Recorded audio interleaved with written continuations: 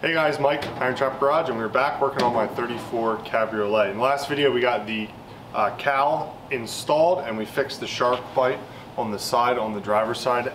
And today we're gonna work on the quarter panel. So I have this patch, we're gonna work on installing in the front portion, and then I'm gonna make a flat wheel well to weld in. And then the biggest hurdle for the day is the re replacement B-pillar we used, the skin that wraps around on the inside of the B-pillar is in really bad shape.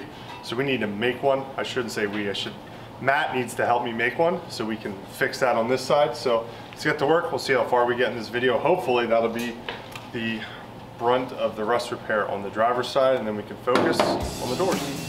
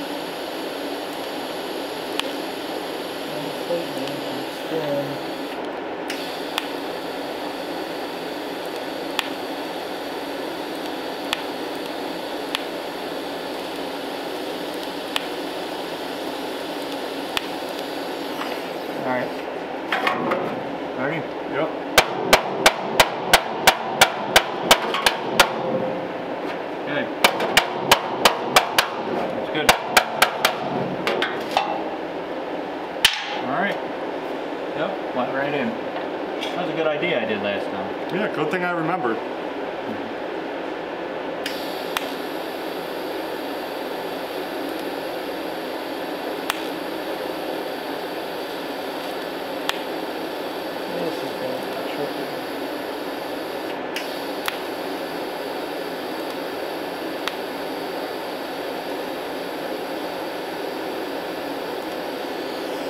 Got a mini sander.